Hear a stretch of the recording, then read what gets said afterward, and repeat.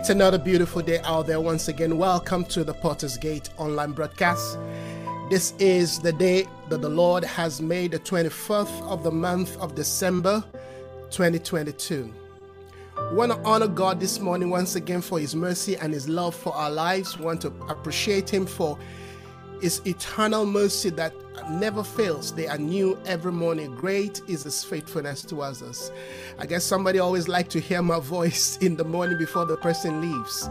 All right, the person connects and then the person just leaves immediately. Well, it's good to know that somebody likes to hear my voice for the next uh, few seconds and then turn off. Well, I want to welcome you this morning once again. I believe the Lord to help us to continue to press into His heart, into His mind into his desire and into his intention.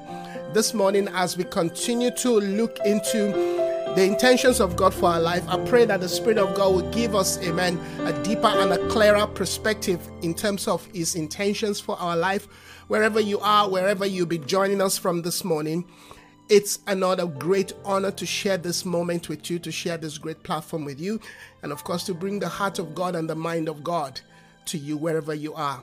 It's an honor to be alive and to be part of this wonderful, blessed moment in time. Let us pray. Father, we honor you, we praise you, we exalt you, we magnify you. Our heart rejoices in you, even as we reminisce on the things that you have done for us, that you're doing in us, through us. Thank you, Father, for your will that will be established, your counsel that will be fulfilled. Thank you, Father, for your truth that will not fail, your word that will not change. Heaven and earth will pass away, but not a stroke of your word will go unfulfilled.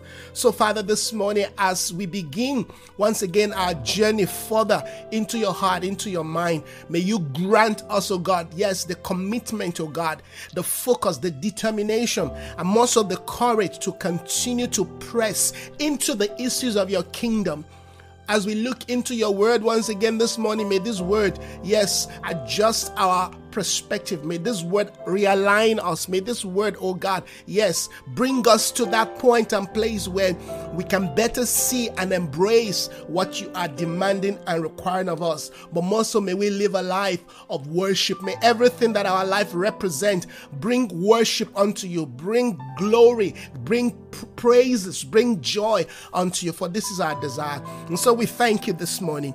We honor you, God, as we look into, yes, the, the, the, the things that you are saying to us regarding your truth, regarding your word. Oh, Father, may we be cleansed. May we be washed. May we be sanctified. Because indeed, that is what we believe you are doing in this period where we've been through a, a seasons of all kinds of challenges and issues some that have left all kinds of stains and dents and, and compromises in our life. But once again, you're calling us to the place of the pool. You're calling us to the place of the washing. You're calling us to surrender and submit, yes, Lord, to yes, to the cleansing of your truth, to the cleansing of your word. I pray in the name of Jesus that as you cleanse us, as you purify us, that we will truly be ready for what is ahead of us.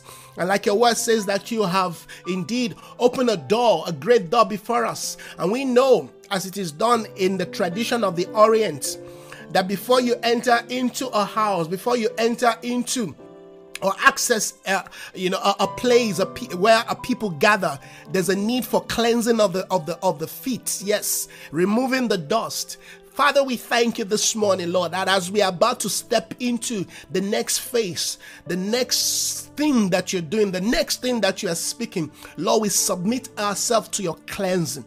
We submit ourselves, yes, to purification. We submit ourselves to washing. We submit ourselves, oh God, yes, Lord, to sanctification. Yes, we want to be cleansed. I want to be cleansed. We don't want to go presuming or assuming. We don't want to get there and we are told that we are disqualified, unqualified. We want to access every door, every season that you have designed for us. We want to be a company of them, yes, Lord, who are entering your kingdom. You said, except the man be except the man be baptized of the water, he cannot enter. Lord, we have seen now we want to enter through the ministry of the washing. It's called baptism.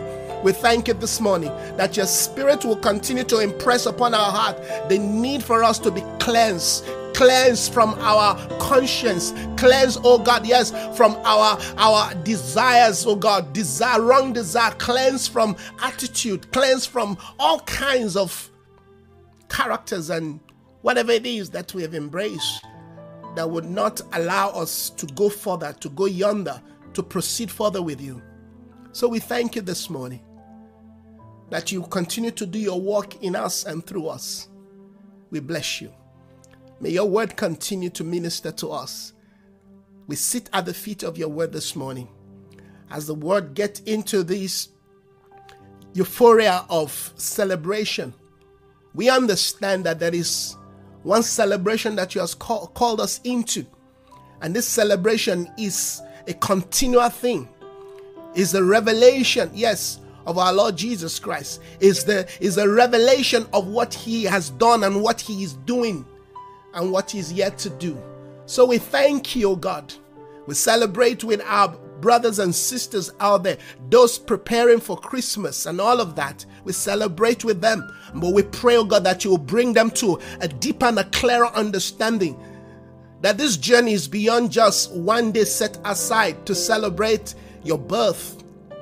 We know, Almighty God, that these are issues that we need to be awakened to as we mature in you Help us to know that Christmas is not just about a day, it's about your redemptive work. It's about you loving the world and you sending your only begotten Son. And that Son is no longer in some manger, even though that reality of the manger is a message for us today. We thank you that in humility you've proved to us that when we submit to the ministry of the of the Father and allow your wisdom and knowledge to guide us because that's what Jesus Christ came to show us. He didn't just come to die. He didn't just come to be born into this world. He taught us humility. He said, All the glory that I have, I left it with the Father. And He came in the form of man. He was born. Help us to understand to learn, oh God, from the teachings that is being celebrated in this period in time. May it be a teaching that allows to grow and develop, oh God, and not some religious rituals that we do every year, oh God, being captured by the spirit of capitalism. Yes, help us, Father, to know the reality of this call to journey further, that we live beyond the Christmas that the birth of Christ is what we celebrate daily. That is death, is resurrection, is ascension, is part of the revelation of our life and growth until we come to the place of the teleos. We honor you, Father. We bless your name. May your kingdom continue to come into all the areas of our life where we are blind, where we are seeking light, where we're seeking understanding. May we not, oh God, yes, fall into the lies and the deception out there that is called religion and traditions of men. Captured by the spirits of humanistic system. Clothed, yes, in capitalism. Or may we understand the economy of your kingdom. may we understand the economy of your kingdom May we live beyond the euphoria of a period, an event. May we see life. May we understand, oh God, that how we live life will define and determine, yes, your coming. Oh Father, may we understand that we can accelerate your coming because we walk in the conscious reality of this moment in time. Father, help us. Help us. Awaken us as you continue to speak to us. Yes, Many of us are still sleeping. We are sleeping. We, we become, yes, a, a, a, a capture in the depth of slumber when what we believe it's a lie. Awaken us. Awaken us. So we can become a voice, a true voice. So we can become true vessels, true servants. So we can become men and women who are true proclaimers of the gospel of the kingdom the gospel of the kingdom. Oh, awaken our hearts. Help us Grant us the grace to come to the place of the washing. Help us, oh God, to bow before you and let you cleanse us and wash us so indeed we can be ready. You said you have opened before us a great door. We want to access, we want to enter that door, but we cannot enter with all these baggages of religion, of traditions, of customs. We cannot, when all we are dealing with, oh God, are still things that are outside the peripheries, things that are within the fringes of the reality of life. Show us how to live life in this season and time. Show that woman, show that man, oh God, what it means to be a follower of Christ, not just marking time. Help us to understand what, yes, Christ is and Christ means. Help us to understand so we cannot be deceived, so we will not be deceived, so we will not go the ways of the world, so we will not fall into slumber. This is the burden of my heart, and I've carried this burden for decades, and I'll continue. For this part, oh God, you have shown me, and may I continue to walk in it, oh God. Awaken us, awaken us, awaken us.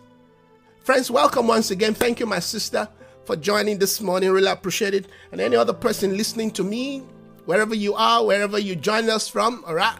And those that will be watching or connecting, you know, to us from United States of America, we want to celebrate this moment with everybody across the world. Amen. But more so, we want to celebrate Christ.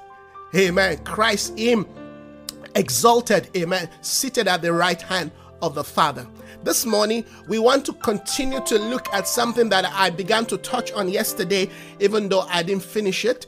I thought I should go back to that scripture because uh, we're looking at something yesterday. Uh, Jesus was speaking, in fact, he was praying in, in, in John 17. And I thought that is such a profound prayer all right that uh, we need to go back and look at again uh, if you have your bible just open to john 17 again let's look at john 17 and i'll take it from verse 16 and i'll go down to verse uh, uh 17 and 18 all right in john john john john 17 verse 16 it says they are not of the world well Let's not even begin to go into all of that because I spoke a bit of that yesterday. They are not of the world. What does that mean? They are not of the world. Mind you, we're coming to the point this morning where I'm going to be dealing with the issues, amen, of sanctification. All right, that's what, what I want us to focus on. But it's important that we also look at scripture within context. Jesus is praying here.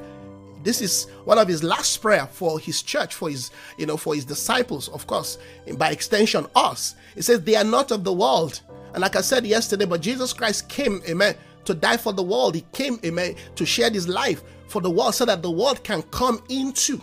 Yes, the truth can, can be awakened into the, the spirit of his redemptive power. Yes. And he had to do certain things. But the truth is, he said they are not of the world. Basically, what he's saying is, amen, the value that defines these people eh, eh, is not of this world. The belief system, the understanding of, of these people who have come to me, who have chosen to follow me, amen, is not of this world. So there is something called this world, and we need to know what that is, particularly in this period. People call amen uh, uh, celebrating celebration time, Christmas time. You need to know what the world is, because the world celebrates Christmas. You celebrate amen Christ the way the world celebrate Christmas because celebrating Christ and celebrating Christmas are two different things. and I'm not even going to go into all of that this morning. Amen. We've been talking about that for years and we'll continue to talk about it as the Spirit of the Lord leads us.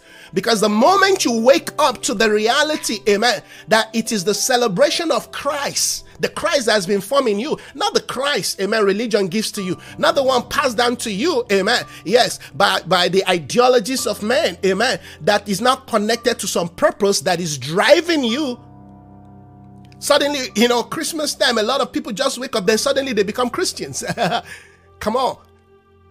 We've passed that season. We've passed that season. Not after all that have happened in COVID and all of that. And I know that there is a spirit, there is a system out there, yes, that wants to that wants to cancel, you know, Christmas and Christianity. And I understand all of that, amen. And for that reason, yes, we will talk about Christmas and all of that. But beyond all of this idea, it's all about capitalism. It's all about economy. And I'm not into all of that. There's an economy that drives my life. Anybody listening to me, if you know, you know where I stand. All right. If you're a if you're a servant of God, you're a minister of God, and you don't know where you stand, and you have not allowed people to know where you stand, including your own family member or friends or colleague in ministry, then you're you're standing on nothing. And it's important we continue to continue to you know uh, uh, speak on this on this on this point so that people know where we stand. People know what we stand for. At least those who know me, amen, they will tell you one thing. Isaiah is not it's not in in and there. I know where I stand, and I stand by it as long as that thing aligns with the word of God. If what I stand on, amen, does not align with the word of God, I'll be the first to reject it. I am that quick to learn. But what, what I have come to understand, and I'm persuaded by the truth, by the word of God, guess what? You can't change my mind over it. A million, a million and one person cannot change my mind over it. Because that is what has guided me and led me to the point that I am today, that I've become, at least to certain people, a voice. And I don't I don't I don't I don't wish at this point to begin to compromise amen that that that position that God has given to me all right yes Hallelujah. Let's continue. I just felt somebody needed to hear that. Yeah. Truth will always set you free. Truth will set you free. If the truth you are hearing cannot set you free, then it's not the truth. You know, I like it that when I speak the truth, people leave because I can see it. Those who follow me, those who don't follow me, I can see it. I can see those who connect, who doesn't connect. I don't know them, but I can see the number increases, it drops. There's nothing to hide about that. You can see that. All right. Like I said, every time I begin to broadcast, somebody will always come and just immediately, immediately. And after a few seconds, that person leaves. It's like the person is just watching. And I, you know, when I was praying, I think the Spirit of the Lord, I believe the Spirit of the Lord dropped the name of that person into my spirit. And she's a woman of God. But she lives in a lie and deceit. You can't live in a lie and a deceit. You can't be chasing people in their shadows or living in the shadows. You can't do that. That is uncalled for. That is not godly. Hey, friends, this is the day of the kingdom, is the day of prophetic insight and understanding. When you walk with God, it will open your eyes, it will, it will help you to see. It will help you to understand. Amen. That's what Christianity is all about. That's what the kingdom of life. We can see what is behind the, the curtain. We can see behind what is behind the curtain. We can see behind what is in the curtain. So you can't say, well, I'm hiding, you know, at my you, you can't be hiding, amen, behind your your your your device and you think nobody sees you. You lie, somebody lied to you, you lie to yourself. If the things that we're talking about cannot give us insight and understanding and revelation, please throw your Bible away and go look for something else. Because this thing is true and it works. If you have the Spirit of God in you, the Spirit of God will confirm, the Spirit of God will affirm, the Spirit of God will give you clarity and direction. Yes, this is called the zeal of the prophet. This is called the zeal of the prophet. It's time we stop living in deceit. It's time we stop lying to ourselves. It's time we stop, hallelujah, fooling people. It's time to remove the veneer. It's time we remove the veneer so we so we can see things in their true light. God is calling us. There are issues God is dealing with in my own life. Just like, amen, there are issues He's dealing with in your own life. If you don't surrender yourself in truth, in humility, in openness of heart, you will be, listen to this, by 2030, you will still be living in 2022. Oh, they will be saying, "Oh, we're in 2030," but your understanding, you will still be, you will still be here. Because listen to this: we don't move by calendar; we move by amen. Yes, the seasons of God and how we respond to that season. When God's season changes and they demand that we move, we move. Like I said some time ago, some of us are not living in 2022. I'm not moved. I'm not. I'm not. I'm not. I'm not living in a calendar year. I'm, al- I'm already in 2023. I'm just waiting, amen, for 31st. But I'm not, I'm not, I'm not here. You understand this? You've got to know that. If if if you are still waiting for 20 uh, 2023 before you begin to initiate and and and activate certain things that the lord is requiring of you i hope you understand that god does not live amen yes in your in your in your chronos in your calendar month. God doesn't live there but he uses amen calendar to help you plan to help you amen align and to help you decide so that when you move you move in accordance to amen yes the directions of the spirit all right. But God doesn't leave. He's not bound, amen, to our time. He's not bound to our seasons. He's not bound to 25th. Amen. It's not bound to, you know, uh, uh, Christmas Day 25th. What do you think that means to God? Man initiates that. That that is not that is not that is not you know an emblem or you know a, a, a pass you know for your spiritual journey. What does 25th mean to you? What does that celebration means to you? Come on. It's time to remove the veil and stop deceiving yourself. What are you going to preach tomorrow to people? Or next tomorrow, whatever you know you're going to be preaching. Or that Jesus was born in a manger and all of that. Excuse me. This is the third day. Wake up. I'm speaking to the men of God and the women of God watching me this morning. Wake up and preach the kingdom to the people and set them free. Yes, you're watching me. I know you're watching me. You're listening. Yes, we, you will leave, but you will come back because the Spirit of God will tell you, go back and listen to that man. You better listen to the voice of the Spirit. Because listen to this. If you don't listen, somebody will replace you next year. Somebody will take your place next year. Because the Lord is no longer joking, He's no longer playing with us. It's time we get our acts together. This is why this platform has been set. It's not set for me to come and tell you what I like.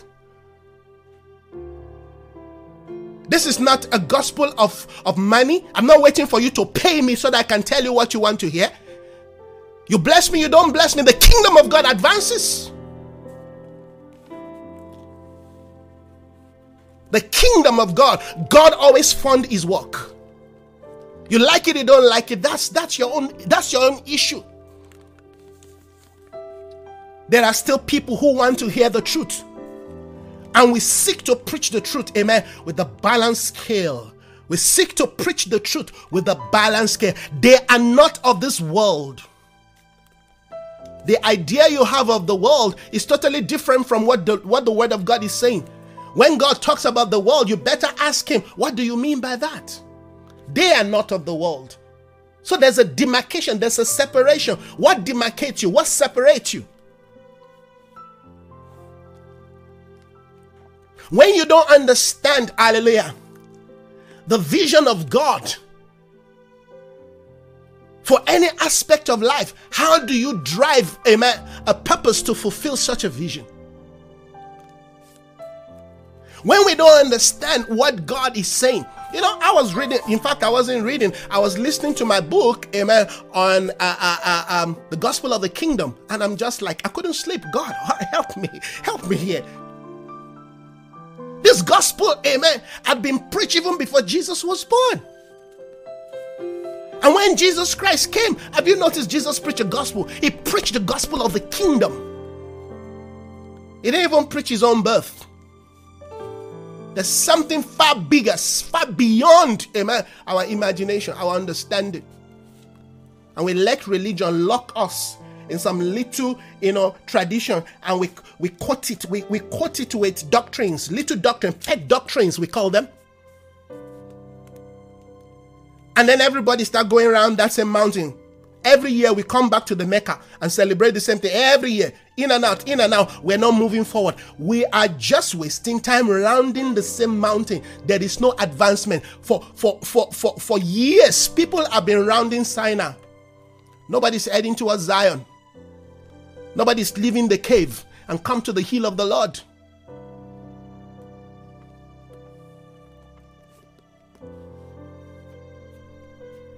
There has to be a holy indignation rising in your heart and mind. In periods like this, suddenly you don't see some believers again. You don't see them again. The world has captured them all in the name of his December, his Christmas. They're into all kinds of jargons, all kinds of things that has nothing that has nothing to do with the advancement of the kingdom of God. But they're busy. But they are busy. They are busy. Then you start seeing them show up towards the end of January, February. By then, they have realized wait a minute, I need to get up. And this is why, amen, this word is coming to us at this moment in time. Because, you know, from January to this moment in time, we have gone through all kinds of things. We face all kinds of, you know, you know, issues. If you are part of, you know, people journeying and transiting with God, I can assure you, yes, you've made mistakes. You've been, you've been, you've been, you've been bruised, you've been battered, amen. You've been hit in certain point and place where you react back. Yes. And this is why God is calling us to the point where we need to be cleansed. But I'm just establishing, amen, some some facts that will allow us to understand why we need to be cleansed. Because it says, sanctify them by your truth. Your word is the truth. What is the truth? That's my point this morning. I'm not here to bash you on Christmas. But I'm just speaking as, a, as the indignation of God, amen, falls upon me. I'm speaking as one called, amen, to function in the office, amen, of a prophet. And I will speak. Have you noticed that true prophets are not always liked? I'm not even seeking for anyone to like me, just like the truth. If you like the truth, you will like me. If you love the truth, you will love me. See, there are two different things between love and like. At least if you like the truth, you will like me. And if you love the truth, you will love me because all I stand for is the truth. Nothing else but the truth. I preach the truth to my own detriment. Yes. Because nothing else matters in this world. The truth is what drives my motivation, is what drives my life, is what motivates. You know, if if you have not discovered the purpose of why you've been given a vision. If if if you have not discovered, what do I mean by that? All right, if you're doing something and you have not come to the understanding of the purpose that drives that vision, you are going to compromise.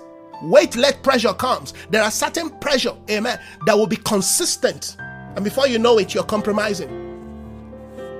But see, once the vision God gives to you, once you understand the dream of the Father, once you understand the vision of God, hallelujah, and you are able to be schooled, listen to me, you are able to be schooled, hallelujah, in the purpose that drive. Listen to this. Oh, hallelujah. Thank you, Father.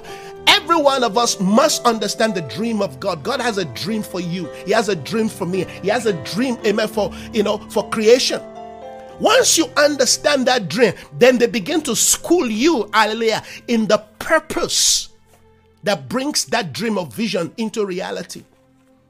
Every vision has got has got a driving purpose. You see, purpose is a dangerous thing when you do not understand the dream of God, when you don't understand the, the you know the vision of God. Vision is the essence for purpose, not desire. Desire can change. Persuasion can change.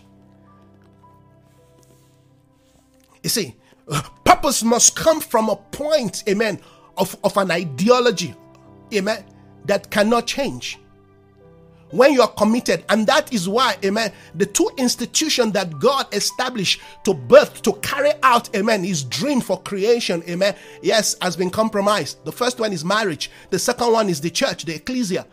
Those two have been compromised. So if we want to get it right, amen, we have to go back, hallelujah, to what is God's God's God's intention. Yes, I was thinking, I was thinking about, I was let me tell you this. I was in the loo this morning, I was just doing the thing, and it occurred to me. So you think you're ready for marriage. And the word that came to my spirit is what will be the purpose of that marriage? If you think you're ready for something, what is the purpose for that thing? How do you know that thing? Then you must understand, amen, that it is the vision of God for that for that thing, if you will, marriage, if you will, a church. What, what, I, what do I mean by a church? When God brings people together, it brings people together, it brings stones together, living stones together. Amen. Yeah, for a reason within a community, within a society. You understand? Then he sets out a purpose to fulfill that. That is why people who are into Al Qaeda, who are into jihadists, all right, they will go and bomb themselves You better you better understand that it's a purpose that is driving them. A purpose drives somebody to wear a suicide vest. That purpose is born out of an idea, ideology. You're going to die. See, that's why be careful how you arm a purpose that is not connected to divine intention. Oh Lord, I'm alive this morning. Be careful how you arm because purpose can be a leather weapon. It can make you and it can destroy you. Once once you attach a purpose to anything, hmm, be careful. Why do you think cultism amen thrives? Why do you think manipulation thrives in the church? Why do you think false prophets, false apostles thrive? I heard one man of God said, during COVID, COVID, during COVID, he said he bought a jet plane during COVID, and he was saying it, amen, with all persuasion. During COVID, I bought jet plane. And I looked at this man and said, Wow. And the people were hailing him. Why were they hailing him? Because he has attached purpose to his agenda. When you attach purpose, you will find people that will follow you. You see, that's why I don't have too many people following me, but the few people that are following me, they're following me because they know this guy is not crazy. This guy is telling the truth. He's telling the truth we don't want to hear. But I, rather stick to him. And those, amen, who cannot stick, they say, no, this guy is saying something that uh, may just make me, my whole world, you know, will be turned upside down. And that's the truth. I'm not going to follow him again. Because God, when you begin to come into the dream of God, He will turn your world upside down. You know why He's going to turn your world upside down? So that every baggage that He has not placed there can fall down. Then when when everything falls down, then He will turn your life again. Amen. Yes, you know, uh, uh, to the right order. That's the truth. Do you love the truth? Do you want to hear the truth? Not many of us are ready for the truth. And that's why we don't get cleansed. That's why we don't get washed. That's why we're afraid of the water. Many of us are like dogs afraid of water. Many of us are afraid to jump into the pool. You know why? Because we don't want to get wet. Oh, Jesus. We don't want the truth. We love what sounds like the truth. We love to be around what looks like the truth. We love to play around the peripheries of the truth. We, we love to sound like people who love the truth. We, we even love the company of them. Be careful of those who come around you who claim to be proclaimers of the truth. How do you know if people love the truth? Watch their lifestyle. Don't watch their message. Watch their lifestyle. It's their lifestyle that makes the difference. It's the lifestyle that makes the difference. How do you know the lifestyle? Bible says by their fruit you will know them. They are not of this world. That's what led us into all of this. They are not of this world. What separates you from those who are out there, amen, fooled, captured by all kinds of deceit and lies? You better believe it. There's a lie out there. I was into all of this life for years until the Lord have mercy on me. And they brought me to, to some flick of light. And I began to, as, as they show me a flick of light, you see, when you come to God, they don't give you all the light. No, they show you a flicker. Do you want it? If you want it, then you start coming. They invite you to come. You have to, you have to invest in the things of the spirit if you want to grow. They don't give you everything. No. So don't cast your, the, your pearls before the swine, lest they take it and, and, and, dash it on the, on the floor and smash it. That's what people sometimes do with the truth that we give to them. The truth we give to them no longer, they no longer value it. That's why I keep saying, never you get used to the things that I'm declaring. Because if you get used to it, you put yourself in big danger. The fact that we come and declare this thing does not mean that the word is cheap. There has to be the point where you are left to chase, to chase the things of God, to run after the things of God. Because when you have it at your beck and call, it's a dangerous thing for you to wake up in the morning earlier and just click on your device, your computer, or open your phone, and there you have the word of God coming live to you. Some of you, maybe you're just still, you know, uh, on your bed, maybe you're just getting up, you're on your way to the toilet, you understand? Yes, you're still sitting on the on the on the on the, on the toilet, you know, you're trying to open your phone, and there you have it the word of God is coming live to you, or you're just trying to make your coffee. You understand? And then you don't need to drive all the way to some place to go hear the word of God. It can be a dangerous place as much as God, amen, has allowed this to accelerate our growth, but it can be a very dangerous place. When there is no sacrifice attached, amen, to, to the things of the spirit.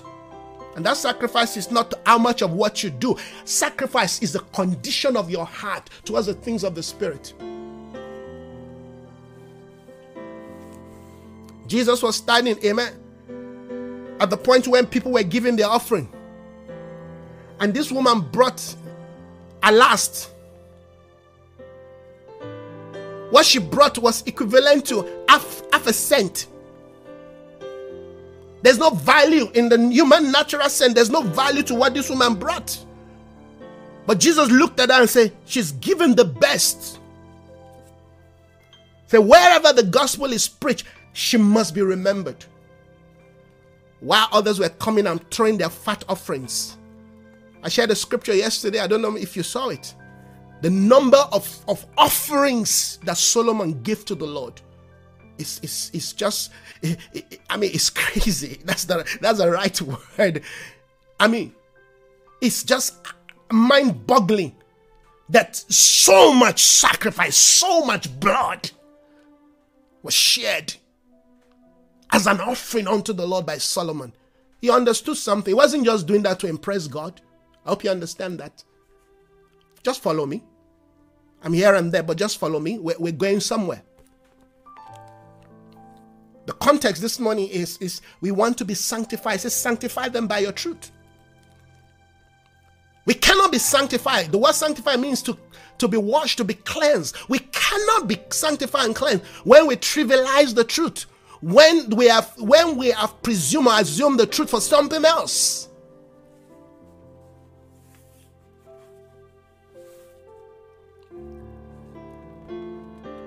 How you engage the things of God, the heart to which you engage the things of God is very, very critical. It matters to God. See, when you have the right posture of heart, there's all possibility that you know your your connection with with God and the things of God will be right. When you have even if it's not right, God has a way of adjusting you, of correcting you, and immediately you will change. But when you have come to believe in the lie, when you're when you are living in a delu- de- delusion, when you've accepted the lie for the truth, only God can save you. When you live in pretense, only God can deliver you.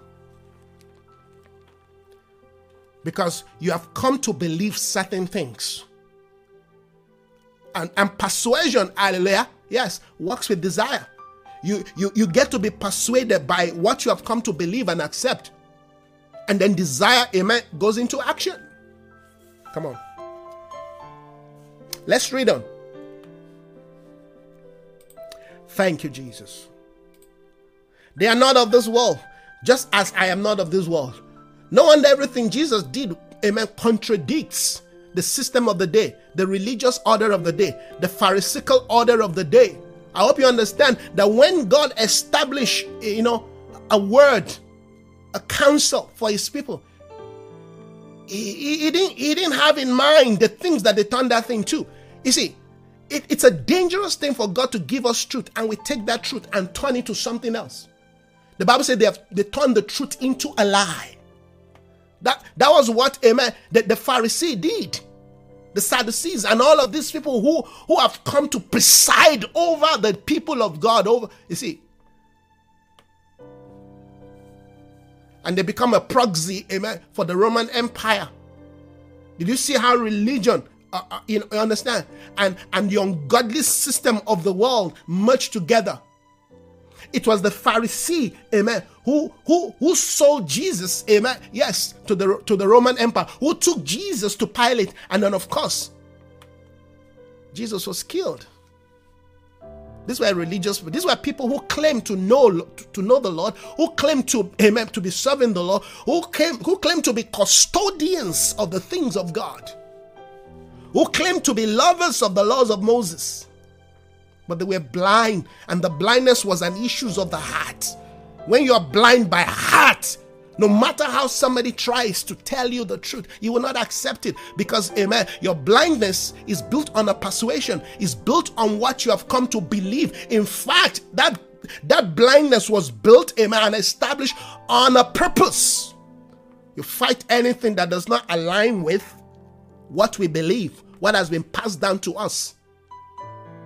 And what has been passed down to them was the truth, but they misinterpreted the truth. You know why we misinterpret the truth or why we choose to misinterpret the truth? To suit, amen, our agenda, to continue, amen, to resource us, to continue to provide for us. Have you noticed that those who lie, who preach the lie, amen, who preach what people want to hear, all right, they get blessed. People bless them financially. But those of us who stand for the truth, who preach the truth, you hardly can be praying, God, you, are God, but thank God, God is touching people. One of our sister yesterday just sent me a gift because she God God touched her heart. She heard she heard my cry, and I was touching the spirit. I said, "Thank you, Lord." And that's the kind of giving I want. Now people give to you because they think or uh, uh, they're doing you a favor. You're not doing me a favor. In fact, your gift is a blessing to you. Not to me. Because if you don't give to me, guess what? The kingdom of God still continue to advance. Remember, I'm not running a church. So there's no offering and tithe coming for me every every month and say, well, oh yeah, yeah, now at the end of the month I've got 15,000 rand. No. We live by faith. Thank God for those who still believe that we want to support what you're doing. Even even what even if what you are saying, amen, slaps us on the face on the face, that is a good slap. David said, I'd rather you slap me on the face than me to sit on the same table with my enemy. And he's laughing with me. Do you love the truth? Your action will prove if you love the truth. Your action will prove if you do love the truth. The Pharisee were the one who took Jesus and offered him. He came to save them, he came to deliver them. You know, God God will not disown his own. God will not disown his own. Oh, you don't like the truth. You don't want to hear the truth. Please do not connect to this channel again because you will always hear the truth. And until your heart, hallelujah, submit to the will of God, this truth will always haunt you. I'm not preaching, I'm not telling you this so that you can give to me. No. But giving is part of life. For God so loved the world that He gave. He gave. Life is about giving. So don't even let nobody lie to you. Just because some people, amen, abuse the principle of giving, and then suddenly nobody should talk about giving. No. Everything that, you, that your life represents is because somebody gave to you. Your life was given to you. Your identity was a gift. Your education is a gift. If God, amen, brought you into a marriage, that marriage is a gift. Your children is a gift. Your job is a gift. You didn't work for it. The Bible says, What do we have that has not been given to us? Why do we behave as if, amen, it was not a gift? Don't live as if you've got a privilege. Live as one, hallelujah, who have an understanding of what God has done. And from that order of life, amen, you bless Him. All of you listening to me, amen, today, many of you, I maybe I met you in South Africa. Guess what? The, the ministry has been running before I met you. When you leave and when you stop giving, the ministry will, will still continue to advance because there will still be people, hallelujah, who will be supporting this work. That's why the truth cannot be killed. The truth cannot be shut down because we stand for the truth. Yes. We flow as the Spirit of God leads us. We flow as the Spirit of God leads us. We don't cajole people to give. We don't try to, you know, uh, uh, impress people. No, no. Let God impress your heart. And if tomorrow God, God, you feel, amen, you don't want to give to this work again, because I don't think God will tell you don't give to Isaiah Phillips again. But if by tomorrow you feel you don't want to give to Isaiah, please do not give to me. Because if you do, your gift will become a curse. Did you hear that? Say, let me repeat again. So you don't think I'm, I'm making, uh, you know, that was a slip of tongue. No. If you do give to me when you don't feel like giving to me, your gift is a curse. I don't want such a gift. I want a gift that will advance what we're doing, what we stand for, what we represent. I don't want you to, I don't want you giving to me thinking that you're doing me a favor because you're not doing me a favor. Don't use your gift to hold me hostage. No. I'm as free as a bird. We declare the counsel of God. Hold your gift, hold your offering, hold your tithe, whatever it is, hold it and watch God continue to advance this work.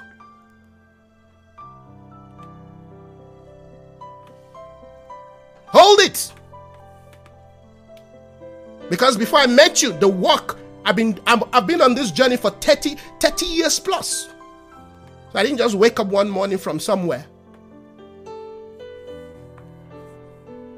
Oh, I feel the holy indignation of God this morning, friends. For God so loved the world that He gave. He taught us how to give. Freely have you received, freely give. Why? We are not of this world. Is the world give you something so they can get something from you? That is not the kingdom life. I told this when I was listening to the, the message on my book on the kingdom of God, and I'm like, God, help me. Help me. You see, when you get a kingdom education, your entire view, your entire perception to life will change. You know, as I'm preaching this morning, I'm like, yes, this is the Isaiah I know. It's like I'm t- t- telling myself, this is the Isaiah Phillips I know. This is how this man preach. Fire in his bones. This is what people know me for. When we come down, it's because we want to bring people up. But don't presume because I am down to your level, you take me for a ride. Don't don't you don't want to make that mistake. Because I will immediately put you where you belong. This is what the prophetic is all about. It's not capture. The true prophets are not captured. They cannot be captured because God has captured them. They are not of the world, just as I am not of the world. Let us sink into your spirit this morning. Because that is what will lead you to the point and the place where you, you'll be able to say, say, oh yeah, I've been compromised. I'm not of the world. In my thought, in my values, in my understanding, I am not of the world. The world may be standing on one side I won't follow them because everybody's on that side. I will stand on the path that I belong. They say, search for the ancient path and follow it. Don't follow the voice of the world. The fact that your friend, your colleagues, your family, your brother, your sister, your uncle, everybody, amen, are into all of the Christmas charade and whatever they do does not mean that you also must just go like a mule and be following them. No, you've got to probe. This is the day where you need to probe. Listen, if you believe in Christmas, then find find proof in the Word of God. Prove it. Let the Word of God Oh, do we celebrate? Yes, Jesus' birth. Yes, because wise men came from the east. They brought, hallelujah, gold, frankincense, and myrrh. And we understand all of that. And we celebrate those process. And guess what? We don't just celebrate on the 25th, we celebrate it every day of our life. Now, why? Those who are wise are still searching, they are still tracking Christ. You have to understand that. Do you know how much capitalism is making. When it comes to December, particularly, amen, the period of where you say you buy gift, you buy all of that, it's good to buy gift. But if you have to wait for 25th to buy me a gift, please hold your gift. Because by January, I need a gift. By February, I need a gift. Jesus need a gift in March. You say, well, I'm moved by, no, no, no. We're not of this world. The world, listen to this. If you if you want to understand, Catholicism define all of these things for us. And we're trying to move out of this thing. And that's why some people till today they've gone to the extreme. They say, well, we, we no longer call it church, now we call it ecclesia. That's some extreme.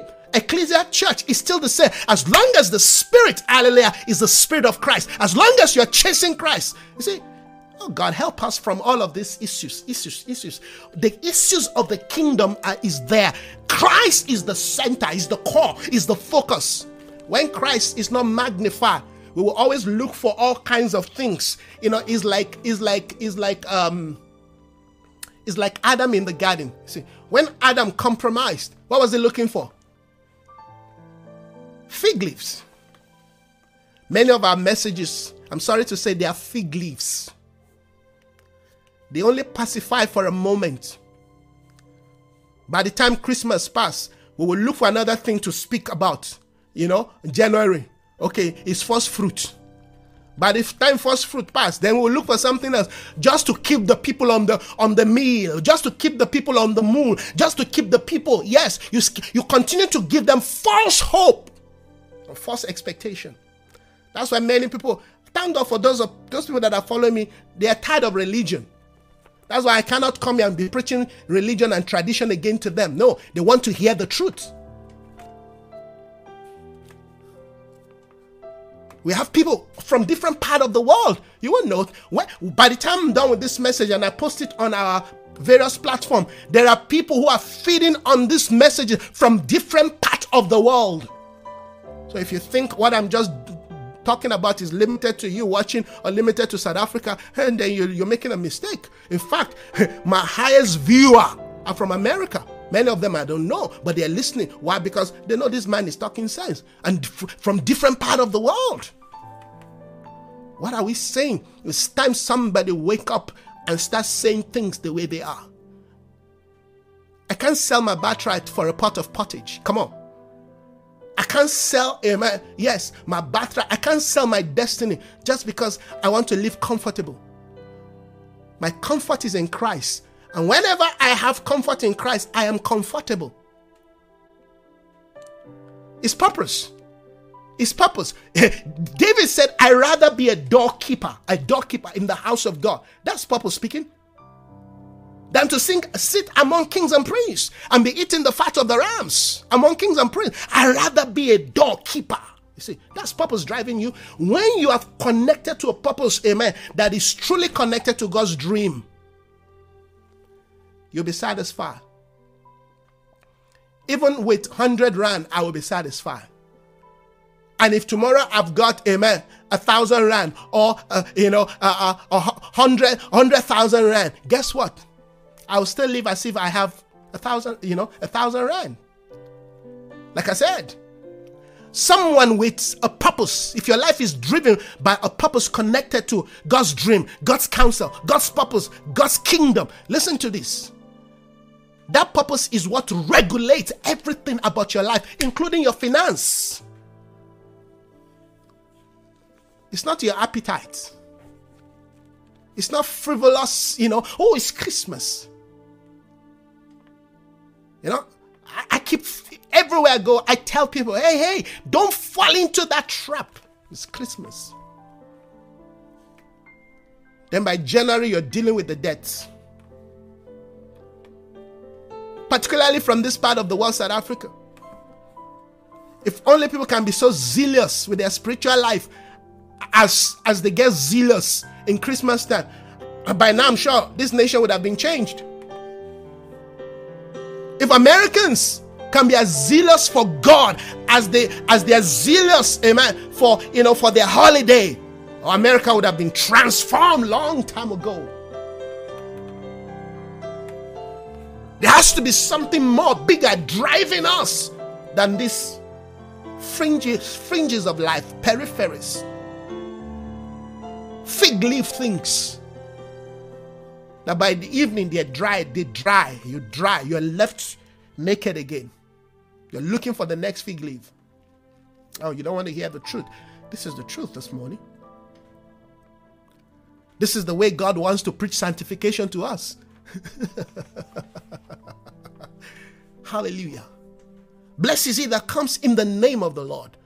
Blessed is he whom the Lord has put his word upon his lips. Let him speak without being afraid. Draw the line.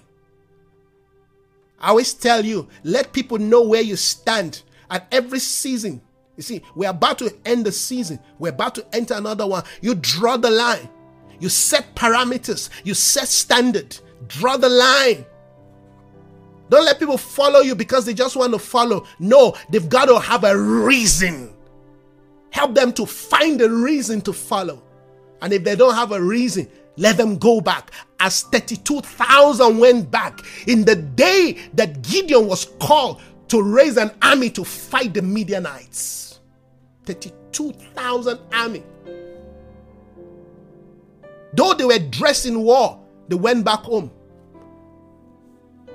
How many of you are afraid?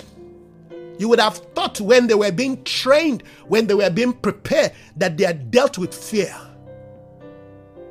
Until the man of God drew the line. How many of you out of 300,000 300, plus army? How many of you were afraid? Hmm. I'm sure the jaw of Gideon would have just dropped. When he saw 32,000 of all his army, only 300 were remaining.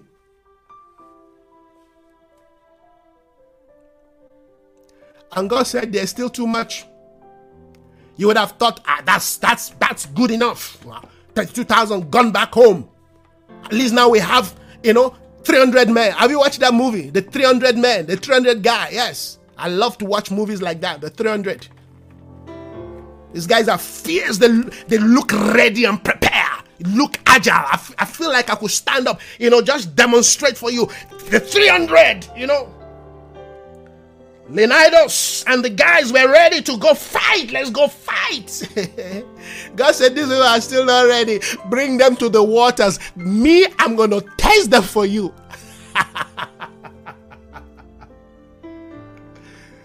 so you understand my philosophy of leadership in case you hate the way I'm speaking, in case you don't like, no, I will continue to test you. I will continue to probe you if you really want this thing. Uh, you want to go on, Elisha? You want to go with Elijah? Okay, we'll see.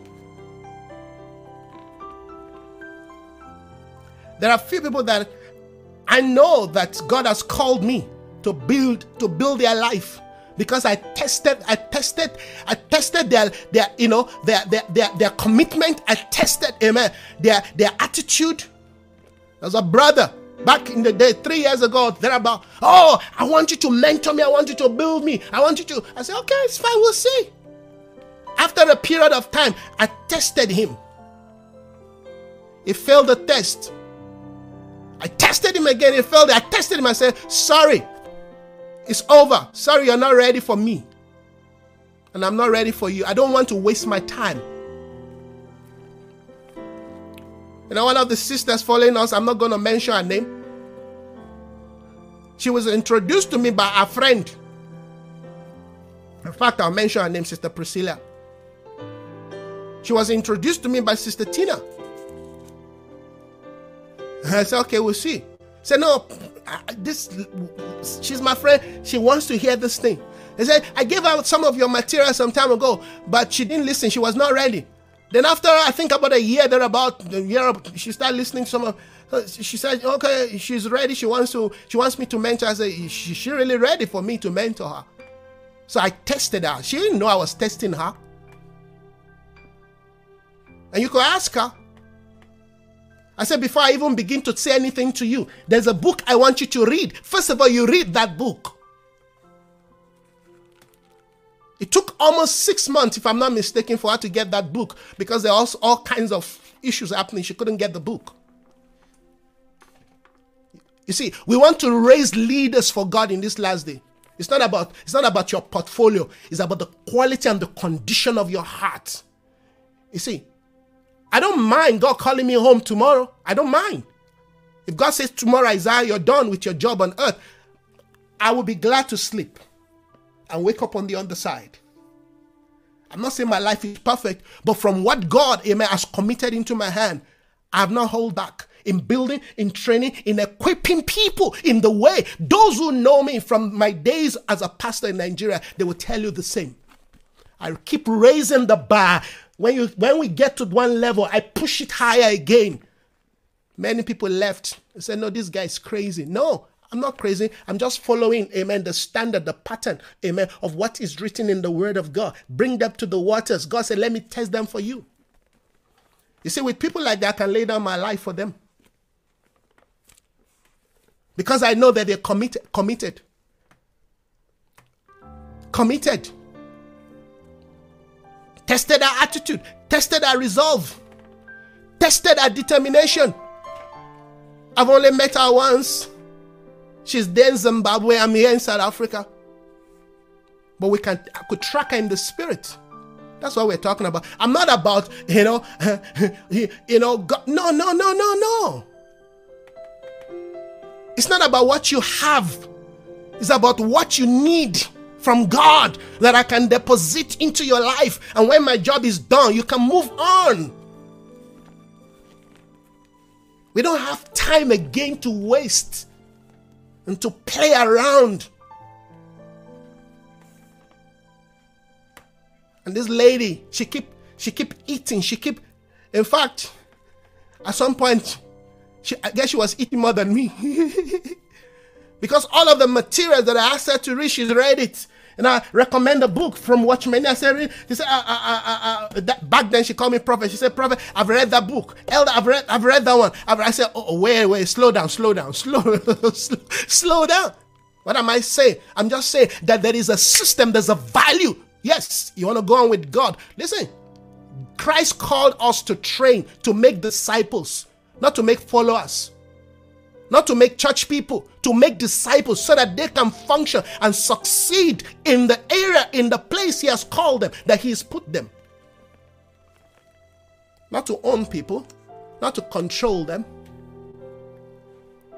You can ask her how my leadership has been with her. You see, there are people that want they want to go 50-50 with you. Okay, uh, meet me halfway, I meet you halfway. Sorry, that's not how we do it.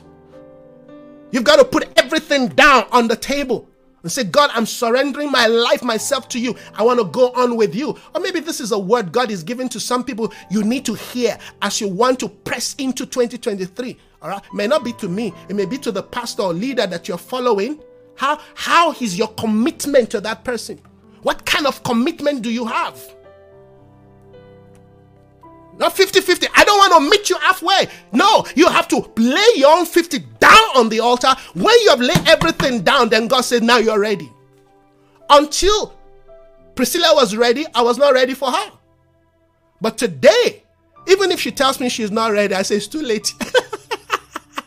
you're, you're going you're going all the way because I've seen your heart. I know your I know your heart. I know your desire. I know what you want. That's what I'm talking about. That's that's what we're talking about. Not not people who no no no no. I don't want to meet because eh, meeting you half half, amen. Is you coming with your baggages? Is you coming with your own ideas, your own philosophy, with your own thinking, and then you are questioning everything God is demanding of you. God say, lay down. I can't lay down. This one I own it. God say, open that door. Say, no, I'm not going to open that door. The story of my father's life is there. The story of my mother is there. The story of my aunt is there. The story of my cousin is there. The story of my boss is there. God said, Open all the door and let me in. No, I won't open. Um, God said, Okay, keep your door. You move on. You're not ready for God. When you're ready for God, amen, you will come naked. You see, moving on with God is vulnerable.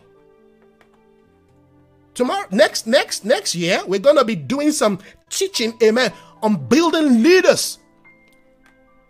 Leaders who will take the things of God, hallelujah, forward. Now, weaklings, bring them to the waters. He said, God said, I'm going to test them. Gideon, you think you, you think you know the people. you bring them to the waters. Let me test them for you.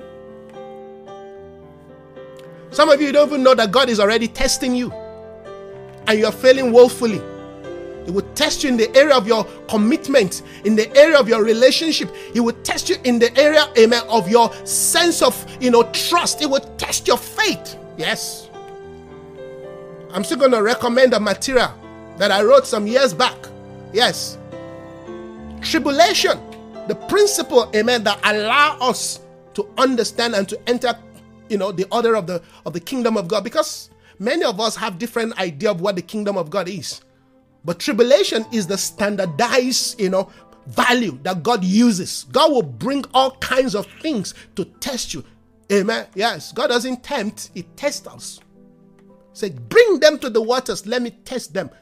You know what? They will always test us in the area of our vulnerability. vulnerability. They will test us in the area of our passion. They will test us in the area, amen, of our desire, of our need. Yes, God will use your need God knows, amen, that I have need, financial need. So He will continue to test me. Yeah, He tests me. I pass the test. I move on.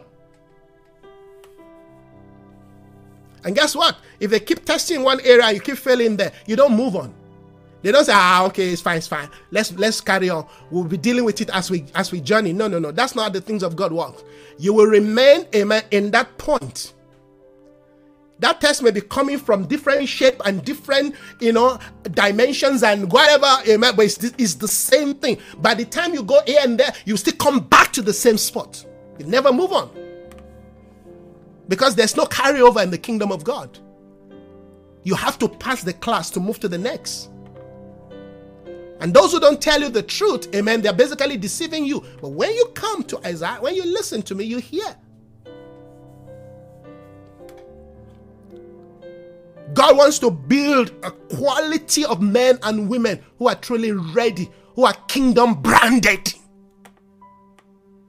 The kingdom of God is the essence of our life and is the essence of our existence, is the reason why we're doing what we're doing. Not, not to have 10,000 people following us. No, no, no. No. Not to be known and be popular on social media. No. What is driving us is the kingdom of God, is the harvest, is people coming into the Lord, coming into Christ, coming into truth. Is people being free from lie, from deceit, self delusion. You are the captain of your own ship. You are the God of your own castle. You want to do your own thing. All right? Then you just use God and the things of God as a whitewash to wash your. I, no, it doesn't work like that. Sorry. The rain is falling. All the whitewash we've, we've painted our walls, amen, are coming off. The God is sending His rain, they're washing. People will see who we truly are. When people look at you, may they see Christ and not something else. When the people look at you, may they see Christ and not something else. Not, not, not, not traditions, not lies, not deceit, not the philosophies of this world. May they see Christ. May Christ be magnified in you and through you because Christ has been formed in you. That's what we're talking about. Nothing else. Excuse me. Are you, are you feeling me this morning as I feel the Holy Spirit stir my heart? See, a true preacher, when a true preacher preaches the word of God, it will create enemies or he will make friends.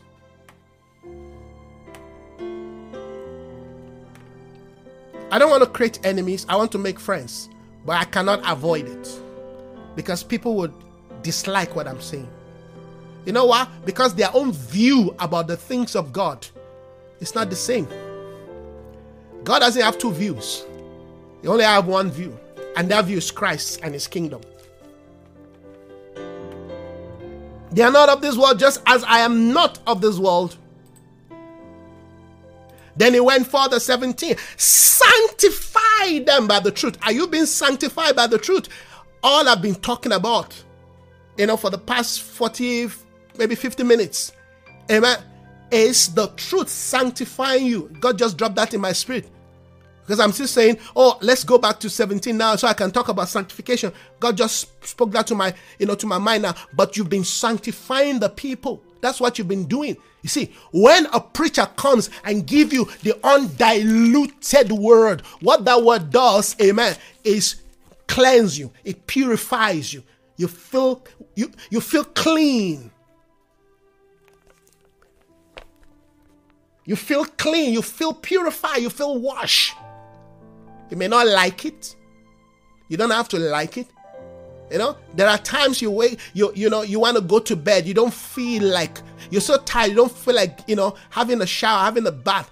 But but you say to yourself, ah, I, I if I really want to have a good sleep, I think I need a shower. You you drag yourself to the bathroom. You drag yourself in. Yes, but after a while, you're under that shower, or you sit, in, you know, in in that in that uh, uh, uh you know bathtub. Suddenly, you begin to feel refreshed. Yes. That's why you have to force yourself, you have to bring yourself, amen, to the pool of God's word. Because naturally, normally, your flesh is going to fight it. No, I don't want, I don't want to have a bath. You see, as some children fight having a bath. Except for my son, Zadok loves to bath. Oh, one moment you take him to the bathroom, uh, he's already throwing his, you know, his toys and whatever into the bathtub. Some children don't. They, no, you see, you've got to love the water. You've got to love the word of God. You've got to want to. All right? At least that's something I, I develop. Even even if I don't like the preacher, all right? And I hardly don't I'm, i hardly find myself in a situation where I don't like, you no know, except maybe the person is very compromised. If, if, it's, if it's the truth, I want to hear it. I want to listen to it. Oh God, help us to be part of the few who are still proclaiming and declaring. People may hate us for it. They may dislike us. They may decide to withhold their gift and their support. Oh, but may we be part of those who will continue to sound the trumpet of your word. Yes, from the rooftop, from the mountaintop. May there be a company of people on earth who will continue to sound the alarm, who will continue to proclaim the word of God, who will continue to declare the counsels of God without reservation. My expectation is of the Lord. My, my expectation is not man, it's not you, my expectation is not a person, it's not a system. You are not my provider. God is my provider. Let me repeat it again. You are not my provider. You are not my source. God is my source. God is my provider. And therefore, He's the one who has called me to go and speak His word. Go tell my people. Say, go to the lordship of the house of Israel.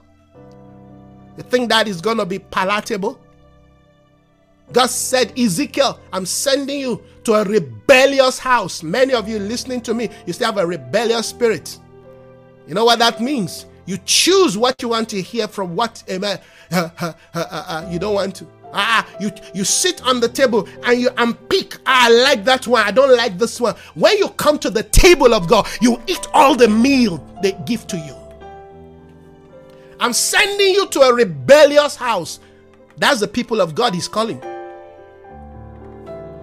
In fact, God said they will not listen to you, but I'm still sending you to them.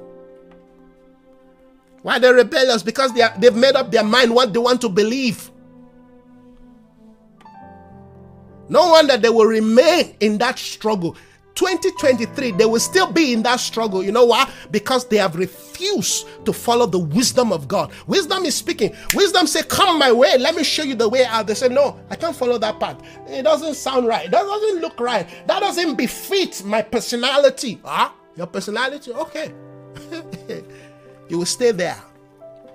You have to come to the end of yourself for the day of the Lord to emerge in your life.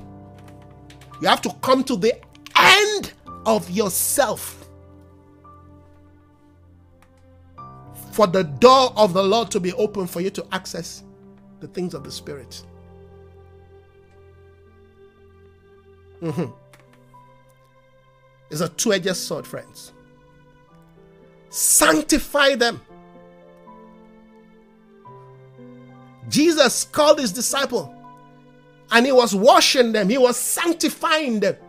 He came to Peter, who thought he knew, who thought me, ah, I'm a man of revelation. After all, I'm the one, hallelujah, who got the revelation of Jesus. You are Christ, the Son of the living God. Hallelujah. It was me that Jesus said, Flesh and blood has not revealed this to you, but my Father in heaven, I have proximity. Jesus said, Peter, come, let me wash your feet. Peter said, No, you're not going to wash my feet. not me. Me, I'm okay. Me, I am okay. No, Jesus, wash my feet. No, I'm cleansed. I'm washed. Jesus said, If I can't wash your feet, then you have no part in me. There are dust you gather when you walk the road. Dust of pride, dust of you know resentment, anger, hatred, dust, dust of you know of of of iniquity. Sometimes dust of lust, lust of the eye, lust of the flesh, pride of life. You gather dust. As long as you are in ministry, you will gather dust. Thus saith the Lord, as long as you are in ministry and you want to serve God, you will gather dust. As long as you're a man, as long as you're a woman, as long as you're a, you're a father, as long as you're a wife, you will gather dust. Come, Peter. Jesus got himself, he got water, he stooped low. Peter couldn't take it. He could not just comprehend. No, no, no, no, no, no, master. When Jesus then said, If I can't wash your feet, then you have no part of me. Peter said, Then Kuku gave me a bath to wash my entire being. Ah, uh, uh, Jesus said, That's not what we're talking about. He who has had the bath does not need a second bath. You are born again, Peter. You are my follower. But there are things that happens to us on the journey there are things that happens to us in January, in February, March. Yes, there are issues, challenges. There are, you know, quarrels. There are, you know, all kinds of you know, misunderstanding, all kinds of, you know, things. You, you, come on, you know what I'm talking about. You can begin to, you know, mark those things that happen, you know. Yeah, uh, some of them you are still keeping, you have not let go of that issue. Yeah, that one, yes, you still keeping it. Jesus said we need to wash that. If you're going to enter the next thing, not just enter 2023, if you're going to enter the next prophetic season, of the Lord for your life, you need to be washed, or else. Let me t- let me quickly t- bring bring this out or else, or else you are not going to enter this door. They won't give you the access key. Even if they give you the access key, you can't come in there because the guards will not allow you to come in.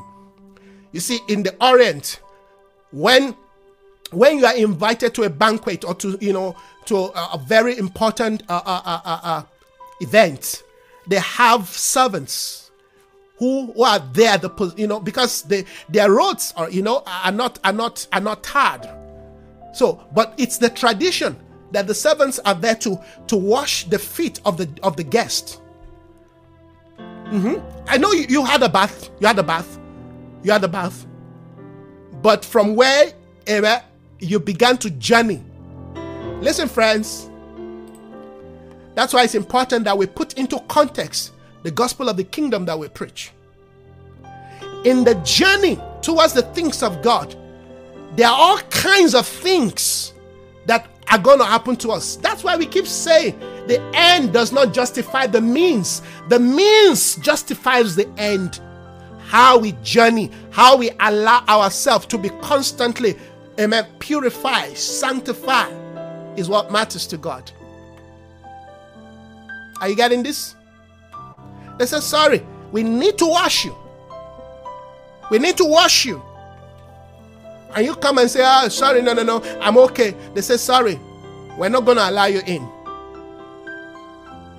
Because that's the that's the rule, that's the standard. We're not going to allow you in. You want to enter into this thing, you want to enter this dimension. You're going to pollute, you're going to create pollution, you're going to compromise Amen. Everyone that is in. That's why certain people, the Bible says we should be careful because they have sneaked in unawares He said, You have among you certain brothers that have been compromised. They did not allow their foot to be washed. So when they came in, they came in with pride. Uh, they came in. That's why we, we, we, we call, we say kingdom community. We're doing kingdom. This is kingdom. But you see people manifesting arrogance, pride, ungodliness. You'll be wondering. You see people, amen, their eyes is like this to money. You'll be wondering, but how did you enter here? I touch. I thought you should have dealt with this thing, you know, at the first day, at the outer court. I thought you should. Have, no, no, no. How did you come to the, they say, friends, how did you get in here earlier with, with the wrong attire, without the right code of dressing? How did you get in here? Did you read that in the scripture? Friends, how did you get in here? Did you not get the memo? Did you not see the dress code? Did you not allow, yes, the servant to wash your feet at you know at the gate before you enter? How did you come in here and compromise the things? They say bundle him hand and foot and cast him into the outer darkness. Oh. Is somebody tracking what the Lord is saying to us? All that a pride and arrogant spirit, you've got to get rid of it so you can enter. You can enter.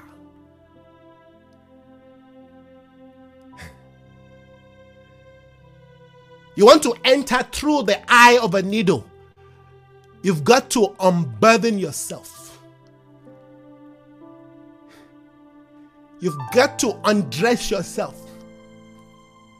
You've got to remove the fig leaf. Ah, you want to cover the thing. You've got to remove the fig leaf. Come as you are so they can cover you with the glory.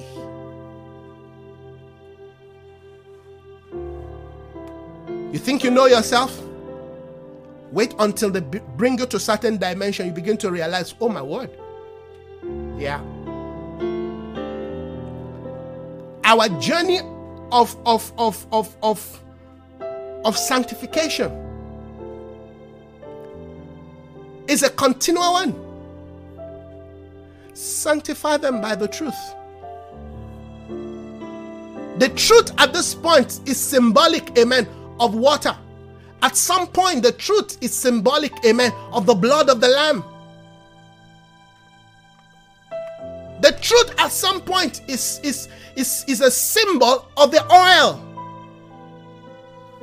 But at this point, it's a sanctification of water. Amen. It's called baptizo. Baptizo. They have to baptize you into certain truth. They, that truth will sanctify you and make you ready. That's why you read the book of Hebrew. There are there are there are more than one types of baptism. The baptism is to prepare us to enter the next dimension of the kingdom. Every stage every gate of, of new realities in the kingdom, we need to be sanctified to enter, or else you're going to compromise the things of the Spirit.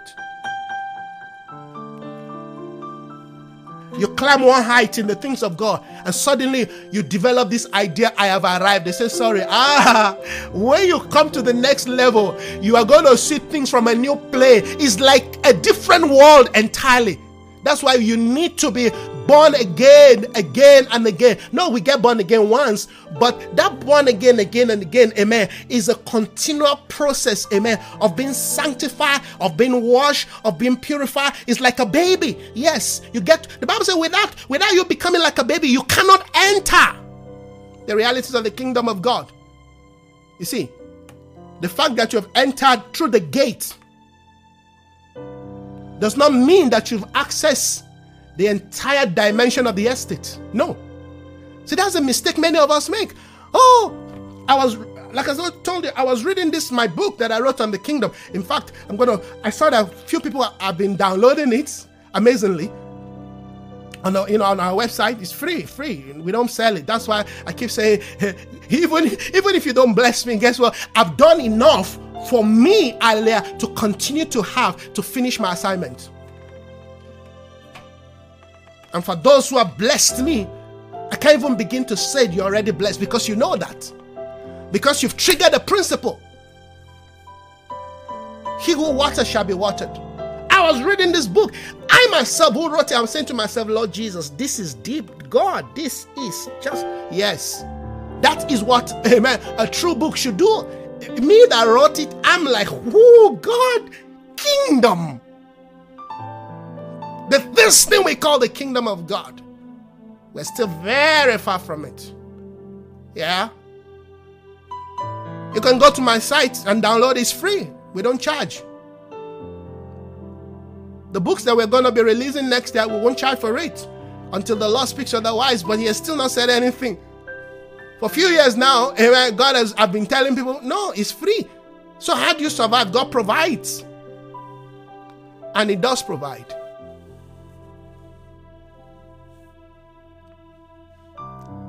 Sanctify them by the truth. Your word is the truth. As you sent me into the world, I've also sent them into the world.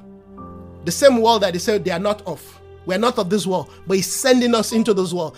Friends, if you are being sent into the world, you better believe that you need, amen, the ministry of continuous sanctification because the world has a way of staining you. The world system, they have a way of staining you. Basically, the world represents dust, flesh. Didn't you, didn't, we, didn't you come out of this world, out of the flesh? Amen. We came out of the dust of the world. Jesus shaped us and formed us from the dust. That was before the dust was cursed. That was before the dust was compromised. So there's something about us that is always gravitating amen, to the flesh, to the world. That's why you've got to maintain the life of the spirit. But you know that sometimes we just miss it. And you find yourself sliding down. You find yourself in a place you're not supposed to be. And you quickly get up. Oh, yeah, that's important.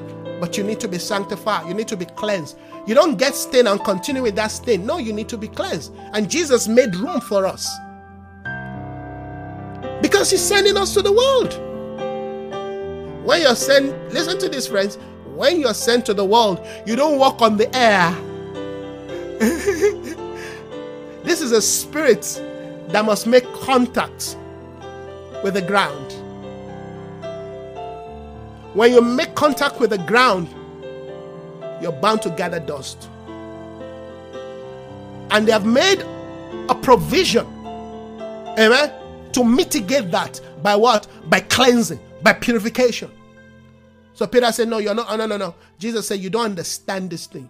You may have a deep revelation about who I am, but th- there are basic things that you need to know that is part of the process of our journey.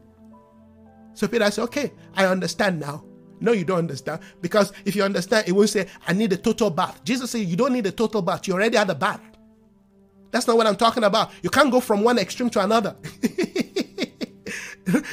you, can't go from one extreme. That, that's what we do in Christ, in, you know, you know, in, in the church, in Christendom. We go from one extreme to another.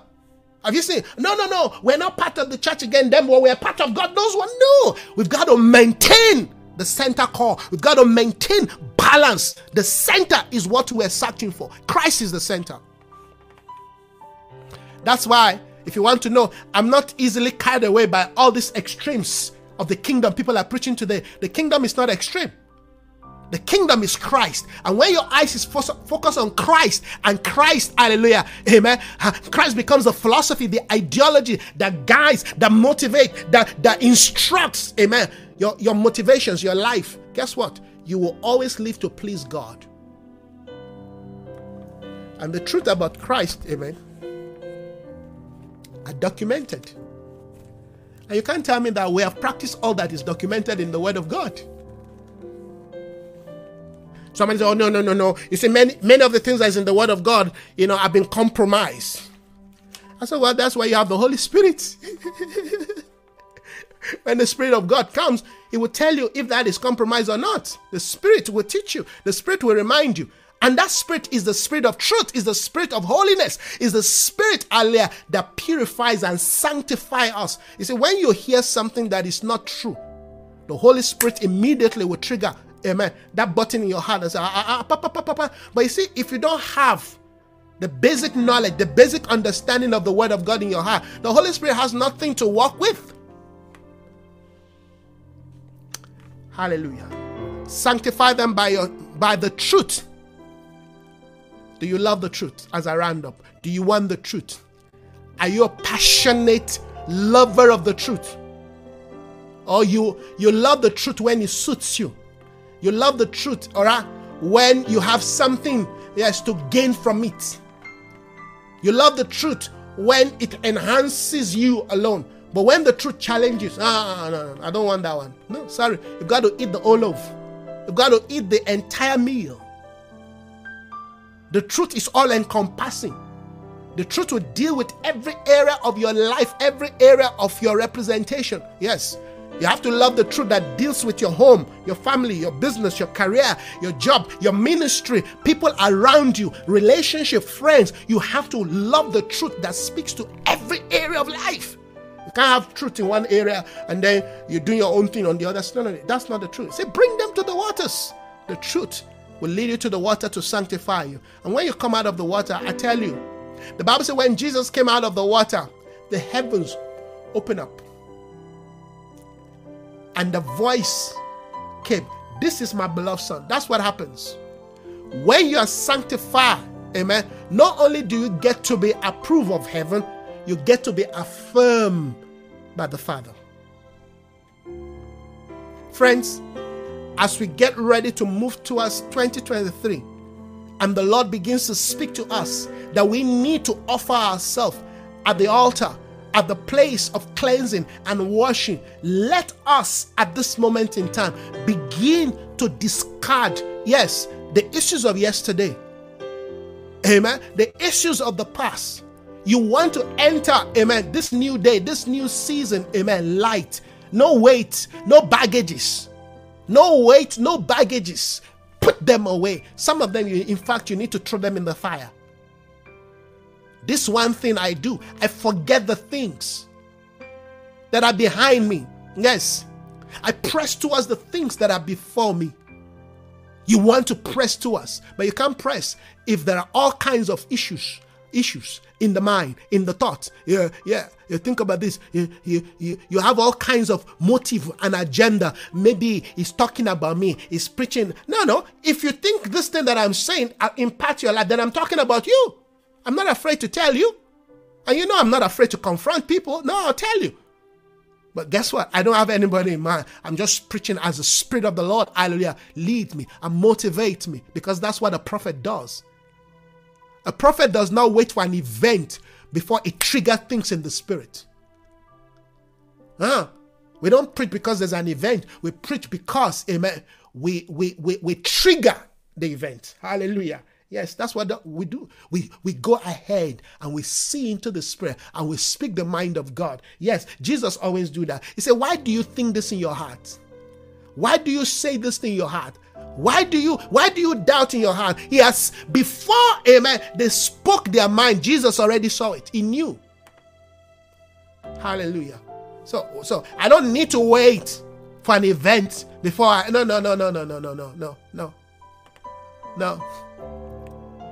You have to preempt. I'm a strategist. I am a strategist. You see, I preempt things before they happen. I prepare a safe landing before impact. Did you hear me? I prepare a safe landing before an impact. I can see into the future. I know what is about to happen. I know if this happened, this is the next thing that's going to happen. I can see that. And that's what I want to build into you. So you are not captured by event. You are not you are not at the mercy of event, of people, of situation. So whatever happens to you tomorrow, you are ready and you are prepared. Nothing should happen to you, amen, that catches you on, you know, unprepared. Catches you off guard. Ah, I didn't know. No, you should know. You should know what is coming. You should know what is coming. Jesus knew who was going to betray him. He was speaking in parable. Nobody got it. He said, even the one that dipped, amen, his bread in the same soup that I'm eating. Still others did not know that he was talking about Judas. Because they could not imagine Judas to do such a thing. But he knew the entire excuse me, the entire life of Jesus, his ministry was prophetic by design. That's why when we talk about the prophetic, we look at the life of Christ. I'm not looking at events. I'm not looking at who is coming. The Antichrist is coming. I'm not looking at, you know, 666. No, Christ is the very definer of the prophetic, is the spirit of the prophetic. I hope you love some, some of those teaching we did in the past on the prophetic. Hopefully, we'll be able to do more in, in the coming year. God, help us to see these things and be ready and be prepared. Begin to prepare yourself for what is coming. Begin to pray yourself into what is coming. Begin to align yourself, amen, to the spirit of, amen, 2023.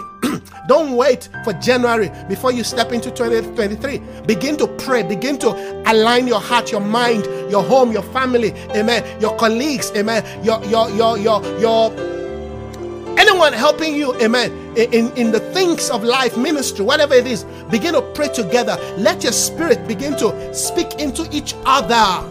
Yes. Don't go to Thessalonica like Demas. Don't take holiday.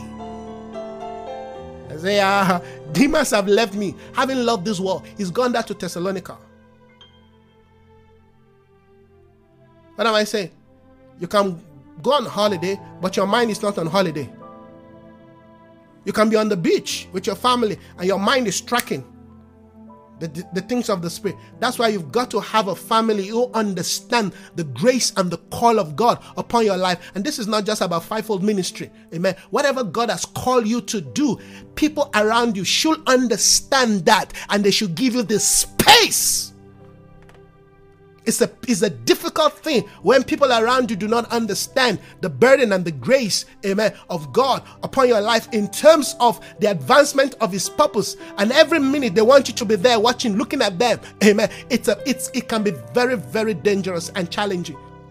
People around you must know that you need space. I'm speaking to those maybe called to ministry, you've been called to ministry, or you're preparing to go into ministry. You need space. Listen to this. Devotion is about giving God time your time. Listen, there's nothing like uh, uh, you, have got to balance, you know, between serving God and your family. No, there's no 50 50 when it comes to the things of God. Your family must know that you've been called. If you're called, that that requires sacrifice. If people in the natural realm could understand that, how much more people in the spirit? If the Mandelas of this world could sacrifice their life and their time, yes, for the destiny of their nation, politically, how much more those of us in the things of the Spirit? Every minute, you must be there. You must be smiling and watching everybody. You must be, oh, it's, it's, it's you know, this is a festive time now. It's family time. Who says family time? It's kingdom time. It's God's time. When you are sandaled with the, with the mandate of protecting a nation as a soldier, you don't have a holiday. You know that. You go for an holiday, yes, you've got times to, yeah, but you can be called. oh, come on. We don't we don't want that. Many of us have a political mindset. That's why the things of God, we can't drive them. We can't drive the things of God because we have a political mindset. We have a democratic mindset. Do you know that on the 25th, there are soldiers, amen, who will be on guard, who will be watching, who will be protecting this country? Who are the brothers, amen. That's where they'll be celebrating their whatever Christmas you call it with guns, amen. Watching who goes there because listen, when everybody is jubilating and celebrating, hallelujah, glory, that's when the enemy want to sneak in. The enemy look at your most vulnerable season. Listen, for Christians, for believers, for kingdom people, this period in time is the most vulnerable time because you would have let down your guard.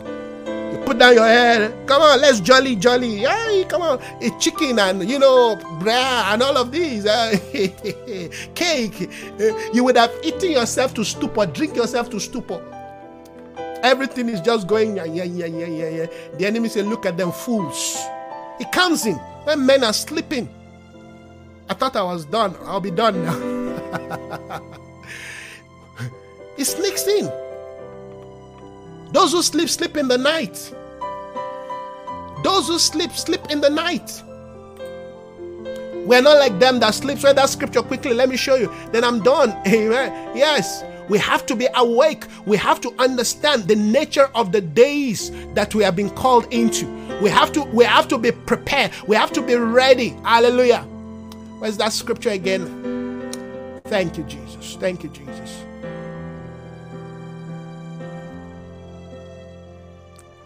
Oh, bless the Lord, oh my soul.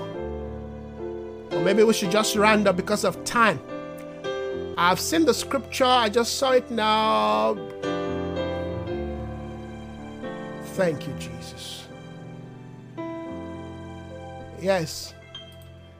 It said, it said, so then let us not sleep as others do. Friends, in this period of December, people will be sleeping. Pastors, apostles, prophets will be sleeping. You know what? Ah, it's holiday. How do you define holiday? How you track your holiday? When the world is celebrating, that's not the time you celebrate. That's the time you must be on the watch. That's the time you listen. I'm not saying be weird. I'm not saying you, you can you can be with your family, but you're tracking. You're tracking.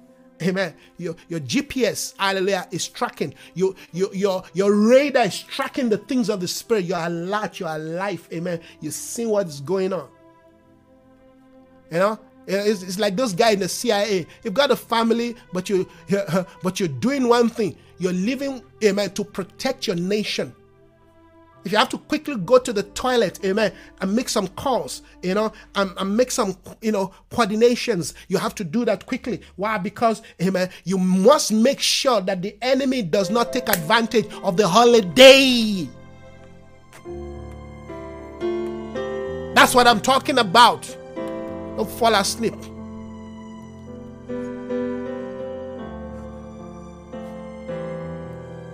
Don't fall asleep. Know, Jesus was born. Not even Herod was aware that the king had been born. Let me round up. Not even Herod was aware that the king had been born. He didn't get the memo. He didn't he couldn't pick it up. He said, Who is who? They were all hitting their head all around. You see, God is a strategist. He said, Go look for him. Where you find him, bring me words. he was shaking to his boot. He could not believe it. Another king born in this place that I'm ruling sin over. Oh, yeah, king, you live, oh king, live forever. but another king has been born today in Bethlehem.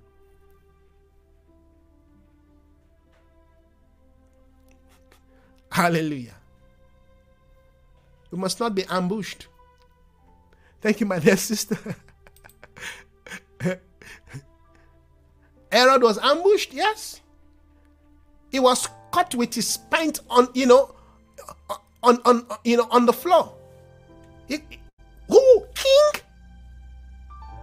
And you guys have picked this thing. And you've been journeying for three months to come to this point and I'm still presiding, and another king has been born in, in this realm. now you understand. When I say we need to have a military mentality as a people of God, we need to have a military mentality. We need to have a judicial mindset. We need to have the mind of an economist. We need to have a scientific mind, not just a religious mind. We need to have a theological mind. Theology is not religion. We learn about the things of God. We need to have a, a strategic financial analyst mindset. Don't become frivolous and spend money anyhow. You must know how to trade in Babylon. You must know how to carry things and move things. You must know the, the, the principle of investment. Don't spend money. Don't buy things that will not add value to you in this period in time. Don't buy things for your children that will not add value to them, that will not increase them. that will not develop them, that will not give them a sense of motivation. Don't buy things that will dull their mind. Don't don't don't don't encourage them to just fix their eyes on games throughout amen, the holiday. Sometimes shut down the game. Don't let them program the mind of your children. These are free truths. Free love we receive, freely we give. Be alive, be alert. Friends, I'm done this morning. Yes, my dear sister, it's kingdom time. Bless you. This is kingdom time, and we must know what that means. If it's kingdom time, then we must truly be dressed ready in accordance to the timing of the Lord. Thank you so very much, everyone, this morning. I can't read through all of your uh, um, response and comments, but I'll definitely read them later on. Oh, thank you, my dear sister. A different kind of leadership, yes a different kind of leadership that I have never seen and experienced before. Thank you so very much, Sister Priscilla. Sorry, I had to catch you on, a, on you know, on guard unprepared this morning. I just had to throw that in because I thought, amen, that is something that others needs to need to learn from. Right? And we bless God for what God is doing in your life. Do not be discouraged. Continue to encourage yourself and build that which the Spirit of the Lord, yes, has deposited in you. And let God's intention be fulfilled. Yes, the beauty of our treasure. All right? It's not always in the outside packaging. Uh-uh. In fact, when you look at the outside, it's just but a clay jar. but there are treasures, amen, in the earthen vessel, in the clay jar. All right? So only those who can see into you will know what you carry. Anyone who looks out, who looks at you on the outside, ah, what what is this one? Who is this one? What does it carry? Well, God likes amen, to hide his, his, his, his, his treasure, yes, in earthen vessel. And that's why it's important sometimes we need to remind ourselves who we are, what we carry, and what God is doing in our life so that we don't think that we are disadvantaged because we don't have or because we find ourselves in some tight, difficult situation. No. And this one too will pass away. Let Christ be glorified. Thank you so very much, every one of you this morning that have been a blessing and uh, uh, uh, been a blessing to this walk and, of course, to this uh, uh, emphasis that we have been looking at. We've been dealing with, amen, God's concept of sanctification. Yes, God is awakening us. This is what we've been talking about. Amen. This is part of our Kingdom Life devotional series. We'll continue to do this uh, in the coming year. Yes, God is waking us up. God is waking us up. And when He wakes you up from something, don't go back and sleep. Amen. Be awakened and continue to hold on to His will. Continue to hold on to Amen. His counsel and let that which you have been given become part and parcel of your life in building the next order. Amen. Of God's counsel for your life. Continue to represent God wherever you are. If you're celebrating with your family uh, uh, this this weekend uh, uh, uh, please do that, amen, with a sense of uh, uh, readiness, sincerity. I tell you, all kinds of crazy things happen, amen, in this period in time. Uh, of Christmas and all kinds of quarrel and and and and you know old issues well up, you know, particularly in, in homes and families where, you know, the love of God is not rooted. So don't let people push you to that point where you start saying things you're not supposed to say because the enemy is going to use whatever means and method. Amen. Yes. Remember, the enemy has just one agenda, and that is to bring you down. So be careful, all right? You're with family, you're celebrating. If if if you don't need to say anything, don't say anything. And if you're gonna say something, Please watch your word. In fact, I want you to see my face while I'm saying this. Please watch your word. All right? Watch your word. Amen. Don't be caught. Yes. Uh, uh, uh, saying or declaring things you're not supposed to say. Don't don't don't find yourself in a position of quarrel. Yes. The enemy has always used the family to divide society. Don't let your family in this period in time become an instrument of division. All right? Go be part of your family, celebrate together, amen. Share the love of God. Tell them if they if they if they're in the position to listen why, amen, this season is important. Let them know, let them understand, amen. And if they're not willing, all right, just if you know that they're not ready and willing, pray that God will send somebody across their path. But don't be part of anything that will trigger, you know, offense.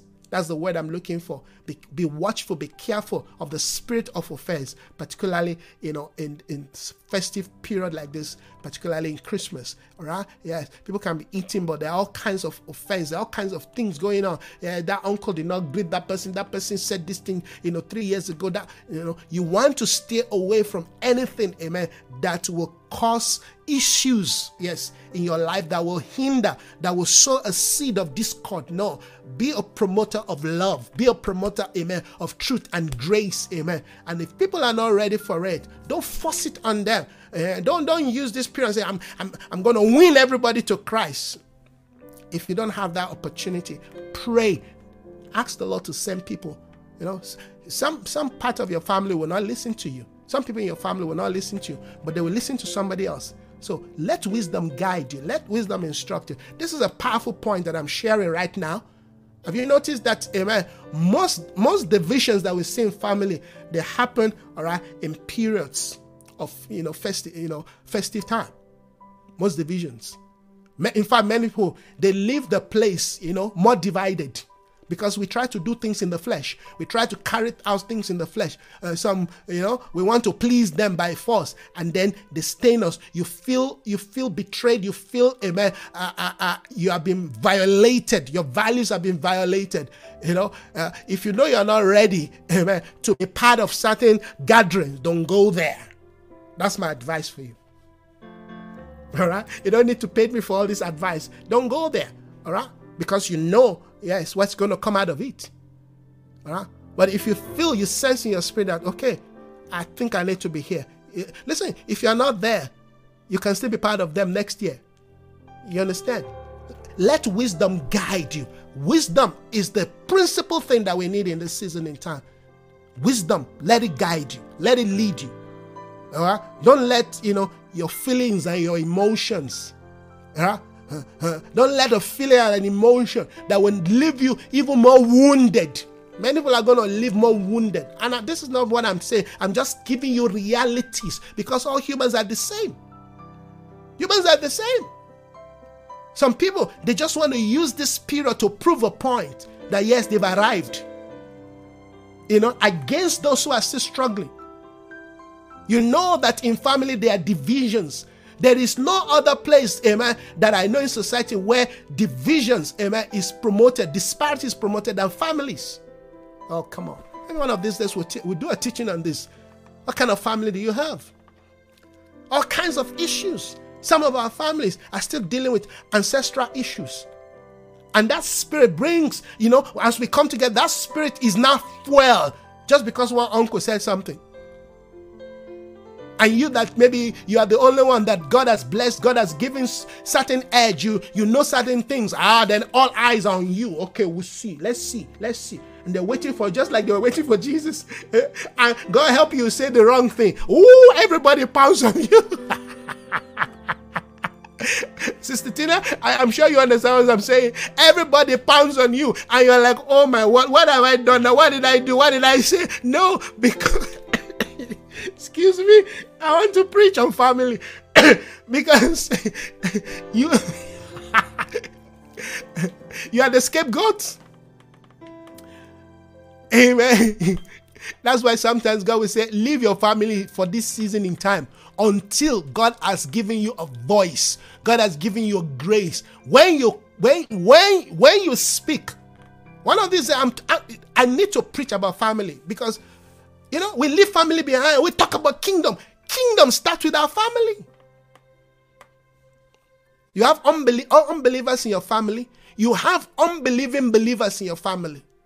You have families, all right, who are into all kinds of fetish things. People, they are members of your family, but they are into all kinds of things. They've gone to that uh, God knows who on the mountain. They've got to that woman by the stream. They they come with all kinds of things. I'm telling you, in the family, particularly. Um, let me not even say among the black family, it happens everywhere, even among the whites. Just that the way they carry it out, the way they do their thing may be different. But we, because we are all fallen human beings, fallen nature. So this is where wisdom, amen, must guide you. Wisdom must lead you. Don't leave the place feeling, hey, why did I even go there? Why? Why? Huh? Why? Why did I go to that, uh, you know, uh, family uh, uh, uh lunch, you know, lunch and why? Why? I should have just stayed in my house, eat my food.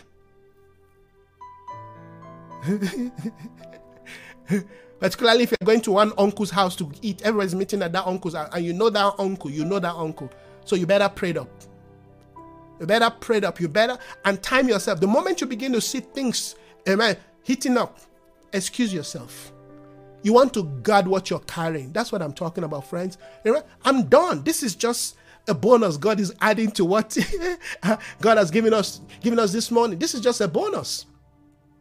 Just take your bag and excuse yourself. You're guarding something. Don't let somebody punch, amen, and deflate your spirit and deflate, yes. I know I'm going to show them. Now I'm kingdom. Eh, I can tell you because see, I've, I've seen all of this, even from my own family, growing up, develop. I've seen. So you think you're a pastor, huh? You think you're the one you you think you you you want to be a pastor? Okay. The Bible says a prophet is without honor except in his own household, except in his own family. So be careful. Be careful. All right? They invite you to spite you. Did what I said? They invite you to spite you. Let me repeat that. I guess that's a word from the Lord. They invite you to spite you. Don't, don't follow your emotion, follow your spirit. If you have the spirit of God, God, should I be there? Do you want me to go there? Because listen, families are wonderful people, but they can be also, you know, they, they can be a they can be a tool. oh come on! Somebody say, "Oh, what's this talking about?" Well, I'm speaking as a prophet. So don't and don't tell me, "Oh, he doesn't like family." Oh, wow, you don't understand. Wake up. Truth. May the truth set us free. May you start learning to build your own family in the right spirit because every family has got a spirit. They've got something, an objective, something they are promoting, something they. Most family are suffering two things: insecurity, or you know, over bloated, you know, uh, uh, self-esteem over bloated self-esteem. Don't you know who we are? We are the we are the Akintolas. So we, you want to prove a point to everybody. Uh, you make the loudest noise. Or some are just suffering from, you know, insecurity, low self-esteem. They've been beaten down, family beaten down, all kinds of things. Yeah? Come on, let's be free. Christ came to set us free the context of our salvation also amen, gets to be mirrored in the kind of family that we have. All right? God gave you a family for a reason. Jesus had a family, was born to a family, and for a reason. And you, you, you understand the kind of family Jesus came from. All right? And he showed us what family is. But we'll pray for the salvation and redemption of our family. Friends, I love you all. God bless you. This is basically two hours we have done this morning. May the Lord continue to perfect His grace in your life. May you have a wonderful uh, uh, um, holiday, if you will, Christmas celebration, whatever you're doing, amen. May the Lord continue to guide you and lead you. May He perfect His will in your life. May His goodness, amen, and His love continue to motivate you. Let love motivate you. Love by principle, love by divine objective, amen. Let love guide you, and may your life continue to be enriched in every area. May all that you desire for this season and for the next one be yours. May God provide for you. May you not lack anything good. May the Spirit of the Lord, amen, continue to perfect you. We've been dealing with the awakening of the Spirit and the sanctification of God's Word. Love you all. Have yourself a wonderful day. Bye bye.